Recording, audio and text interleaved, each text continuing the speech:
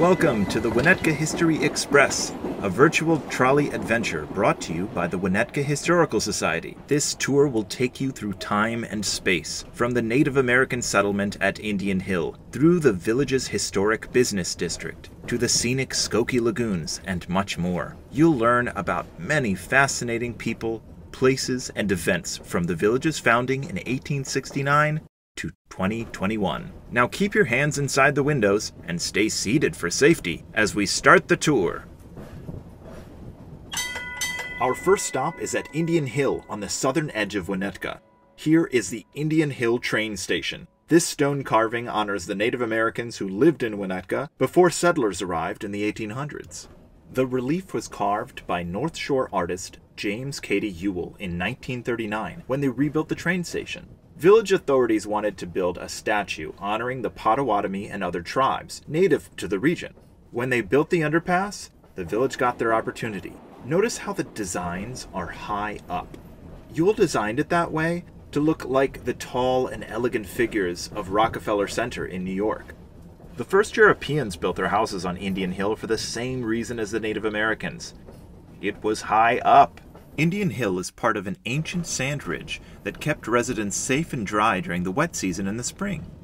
The first European settlers built their log houses, like the Doyle home pictured here, close to the Green Bay Trail, on present day Church Road.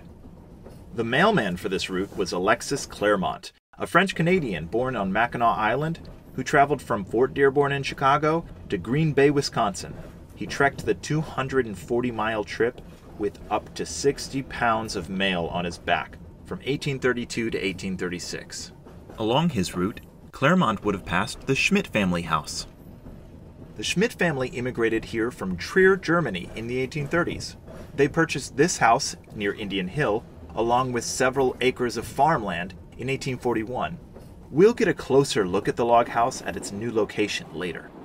Today, Indian Hill is home to the Indian Hill Club, Originally founded in 1912 as the Winnetka Country Club, the members thought that name didn't sound right. For one thing, they weren't technically in Winnetka, though they were right next door. For another, when they started construction on the new golf course in 1914, locals discovered arrowheads from the Miami Indians, so they decided to rename the course Indian Hill after the various native people who lived there. The name Indian Hill remains as a reminder of the native people who were Winnetka's first founders.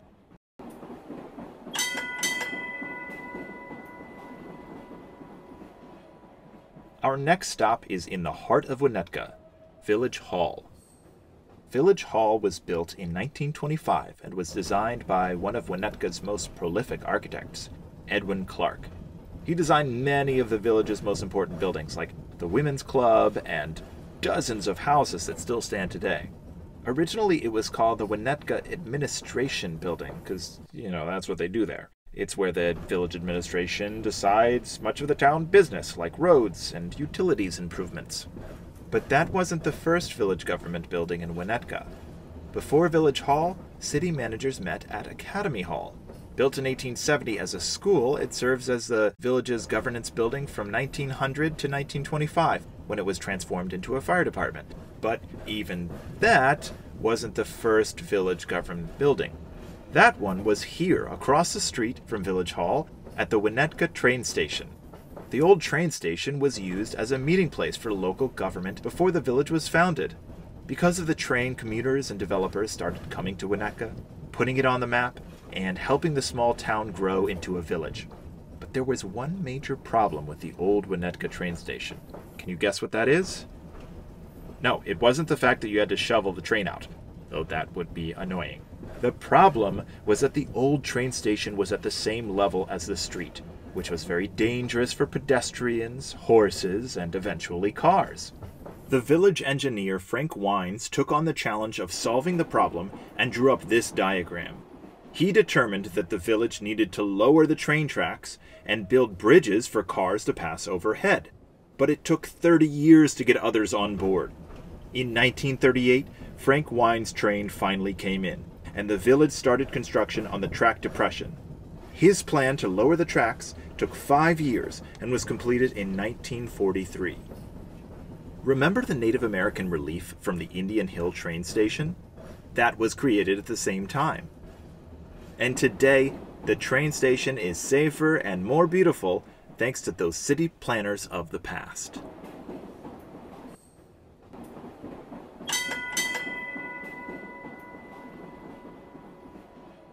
On your right is one of Winnetka most celebrated spaces, the Village Green. It's where Winnetka has come to meet and honor its past and present. This plot of land was donated to Winnetka by Charles Peck in 1869 with the stipulation that it remain a public park forever. This cenotaph monument was erected in 1928 to honor the veterans of the First World War. A cenotaph is a memorial to someone who is buried somewhere else. The cenotaph on the village green was paid for by subscriptions from hundreds of residents. The design was part of a competition won by Samuel Otis. After World War II, the village added to the memorial to honor more Winnetka veterans. Here's a picture of World War II veterans on Memorial Day in 1954. The village green has always been used for patriotic ceremonies. This photo shows an outdoor play about the signing of the Declaration of Independence on July 4, 1913. But the most notable celebration of democracy at the Village Green came in 1965, when Martin Luther King Jr. spoke to a crowd of thousands of North Shore residents. Dr. King was invited to Winnetka by the North Shore Summer Project, a group of young mothers angered at housing discrimination in their community. King's speech in Winnetka came at the end of a long day of rallies around the Chicago area. But King was used to long days of speaking and when he got on stage, he spoke directly to the young mothers of the North Shore Summer Project, telling them what they could do to make the American dream a reality. Then he laid out a plan for how to build a better, more democratic, and diverse society, urging them the time is always right to do right. And he called on them to march with him the next day from Buckingham Fountain in Chicago to City Hall to protest segregation in the city. The Village Green will forever remember Dr. Martin Luther King Jr.'s speech because of a group of 8th grade students and their teacher at Washburne School, who asked the village to memorialize Dr. King's visit in 2007. Now we can remember the patriotism of protest when we celebrate Memorial Day and the 4th of July at the Village Green.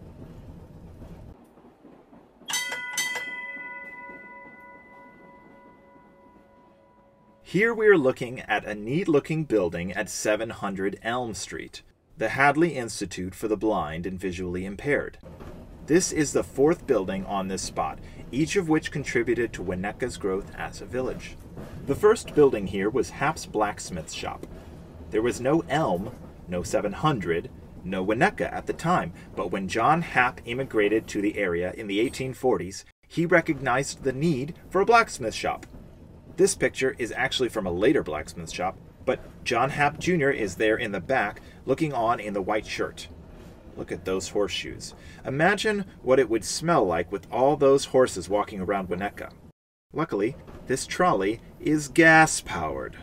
This beautiful church was built at 700 Elm in 1885. It was Winnetka Congregational Church's second location. This wood building burned down in 1907 and the church is now located at 725 Pine Street. In 1922, these guys built the third building at 700 Elm. They are the Freemasons, and in this photo, they're signing their constitution for their new Masonic Lodge. Sadly, they lost ownership of the building during the Great Depression. The land was then purchased in 1951 by the Hadley School for the Blind. The Hadley School had been in operation since 1920. Their founder, William Hadley, who had lost his sight later in life, started a How to Read Braille by Mail program, sending people lessons through the Postal Service. In the 1950s, the Lions Club helped them build the school that is still at 700 Elm today. The men in this photo are standing outside Village Hall selling brooms to raise money for the Hadley's building. The building was completed in 1956. It included a recording studio where radio stars like Shirley Cole donated their time to make recordings the Hadley School changed its name to the Hadley Institute in 2016 to better reflect its mission to serve people all over the country, not just in this building. Now buckle up, we're heading through downtown Winnetka To the right, you can see Lincoln Avenue Business District. To the left, you can see Conney's Drugs. The pharmacy used to be on the north side of Elm Street in 1945, but when the railroad was at street level, remember when I said the railroad was at street level? The bottles used to shake as the trains went by. Conney's later moved to its current location here on the south side of Elm Street, and you can still get hand mixed pharmaceuticals from them. Now we're approaching the Winnetka Community House. Reverend Davies thought up the idea for the community house back in 1909 he raised enough money to complete the building in 1911, which had 15 rooms and a gymnasium. In this photo, you can see a costume dance for kids, and they also had a gym for plays, sports, and, and speeches. In its first week, 51 groups used the community house. On the right, we're passing the book stall. The book stall is a wonderfully welcoming bookstore, originally named Chestnut Books, where many famous writers have started their national tours to sign books for Winnetka residents. One of the most famous of these authors was J.K. Rowling, creator of the Harry Potter universe, who visited during the height of Harry Potter fever. The line to meet Rowling stretched around the block. Now, if you look down Chestnut Street, you can see the Winnetka Post Office. One of the early post offices was this small building pictured here from the 1940s. Rumor has it that movie star Rock Hudson had a postman route here when he was in high school, right around this time. The post office we have now was built in 1959 and was completed just in time. Postal codes, what we now call zip codes, were created in 1963.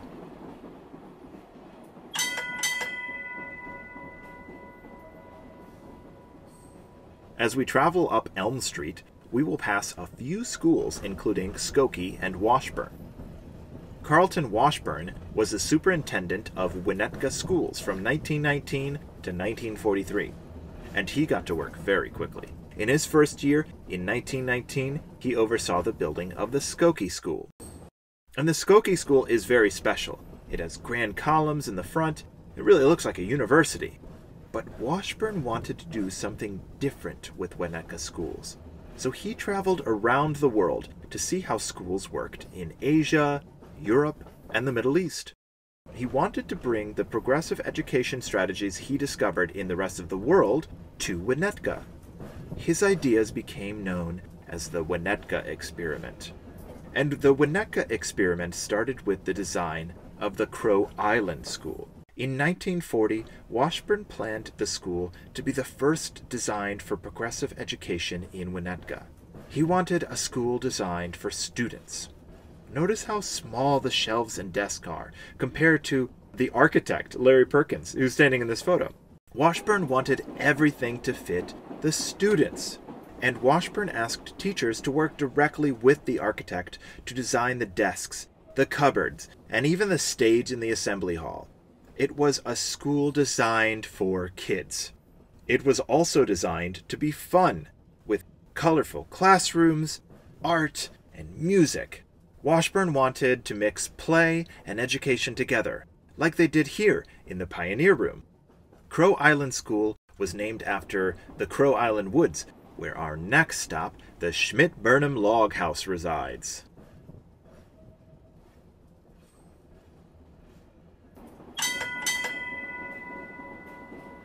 Now this is my favorite spot, the Schmidt Burnham Log House.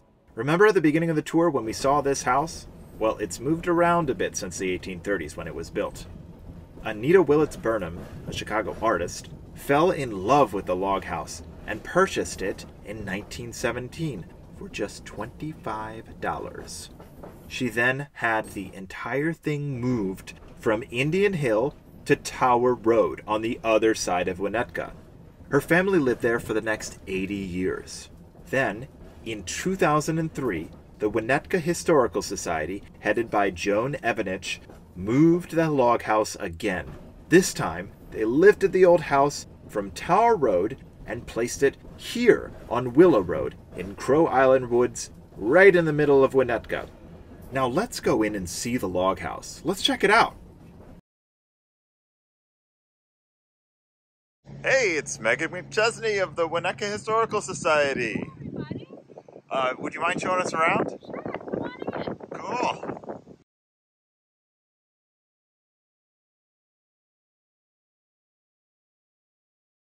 Eleven people lived in this room and the two rooms upstairs when the house was at Indian Hill. When the Burnham family moved in, they decided to expand it to fit a modern family when they moved it to Tower Road. This section of the house reflects the fun and adventurous nature of the Burnham family. Here are some of Anita Burnham's art supplies, her palette, and one of her paintings of downtown Chicago. Over here is Anita's one-of-a-kind invention, a rolling suitcase. This may be the first rolling suitcase ever created. Next time you're at an airport pulling your luggage behind you, remember that Anita was the first to discover that convenience. She used her suitcase as the family traveled around the world, to Africa, Europe, and Asia in the 1920s and 30s, which she chronicled in her book Around the World on a Penny. You can read more about it and see Anita's art and invention here at the Schmidt Burnham Log House on Willow Road. I hope to see you here soon.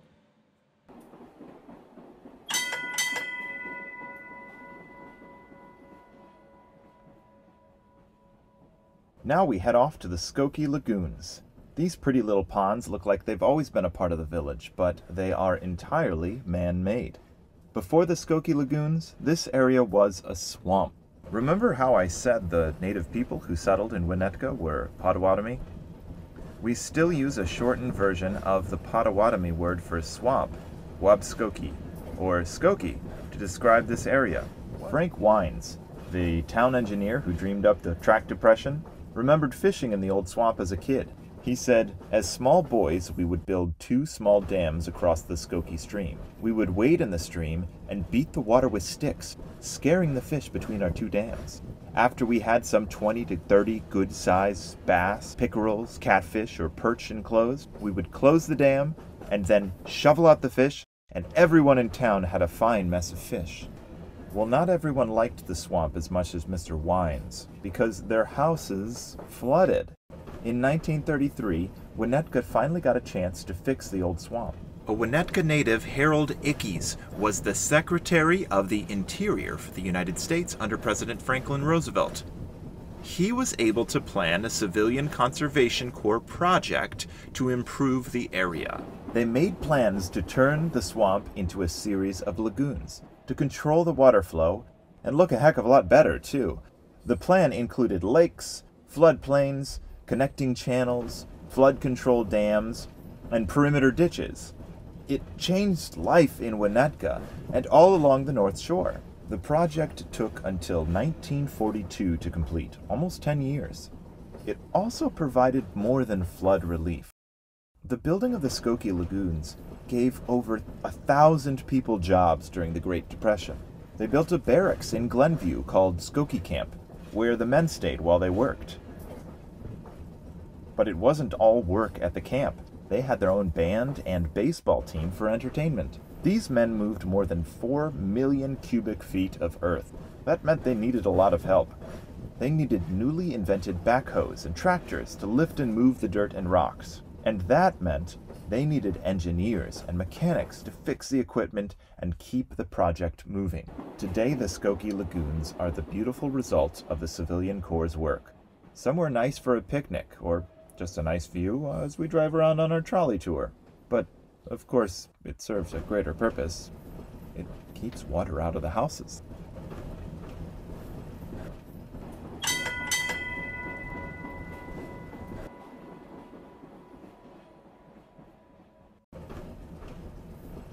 Now we head down the northern edge of Winnetka on Tower Road towards the lake. The Schmidt Burnham log house used to be on Tower Road, and when it was here, Anita Willits Burnham named this street Tower Road because you could see the old water tower if you looked straight down the street to the lakefront. This was the view you would have as you headed down Tower Road towards the beach. While we travel along Tower Road, look to your left and you will see some whimsical houses. This is affectionately known as the Swedish Village. They were designed by Swedish architect Andrew W. Paulson, who lived in Winnetka from 1905 to 1939. Some of them have rounded roofs like a hobbit home, others are pointed like a Viking home. At the end of Tower Road, we have the newest tower, which is part of the municipal plant. This plant is special because it is owned and operated by the village of Winnetka. We don't have to rely on anyone else to power our TVs, cell phones, and computers. Next to the power plant is Tower Road Beach, which anyone with a season pass can use. Winnetkins have a long history of using the beaches for fun day trips. They are a place to relax and enjoy the sun, to walk and explore, and to boat on Lake Michigan. If you were standing on the beach in 1860, you could witness the wreckage washing ashore from the steamship Lady Elgin. This ship was accidentally rammed by the schooner Augusta. It was heading back to Milwaukee from Chicago when a storm caused the two ships to crash together. 297 of the 400 people on board died. The survivors clung to the wreckage they could find and desperately tried to swim ashore. Heroic Winnetka citizen Jacob Conrad jumped into the water from the Winnetka Bluffs with a rope tied around his waist. He saved 28 people. Many of the survivors were brought to the Gage House, just north of here. His son Pete saved a piece of wreckage of the Lady Elgin, and we have it in our collection at the Winnetka Historical Society.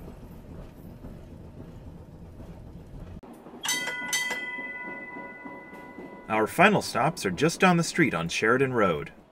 As we head down Sheridan Road, take a look at this photo from 1897, taken from the top of the water tower. If you look on the upper right corner, you can see the old church built in 1869 by John Garland.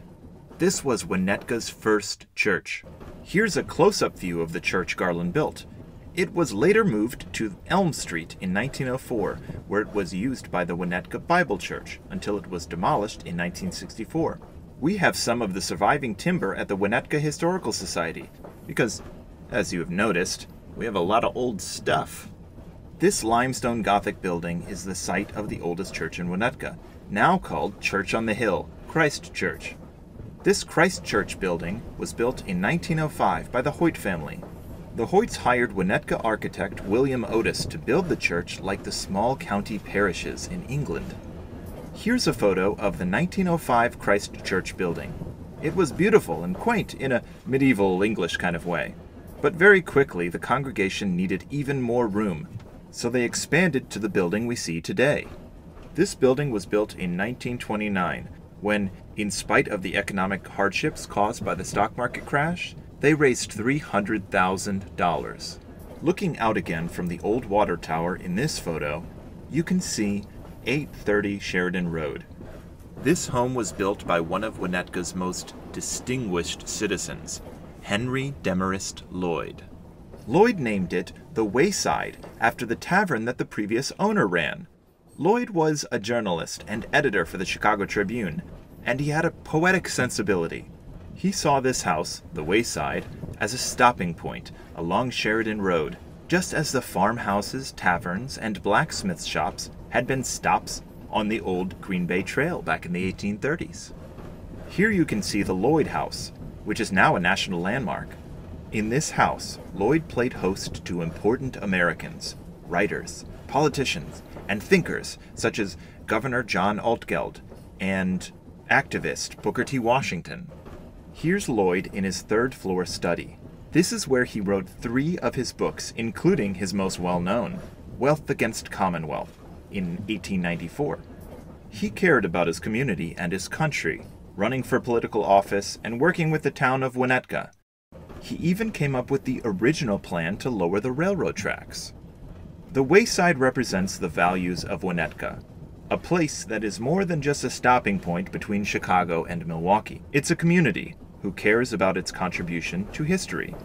Through the art of Anita Willits Burnham, the patriotism at the Village Green, the service of the Hadley Institute, the innovation at the Crow Island School, and the work at the Skokie Lagoons, Winnetka has carved out an impactful community on the North Shore. The Winnetka History Express is presented by the Winnetka Historical Society. Our mission is to honor and preserve the village's heritage, gather and share the artifacts and stories of its past, and foster meaningful connections among Winnetkins and the broader community. We manage two historic properties our museum and headquarters at 411 Linden Street, and the Schmidt Burnham Log House at Crow Island Woods, where we hope to see you soon. We hope you enjoyed your journey throughout Winnetka's storied past. Thanks for joining us on the Winnetka History Express.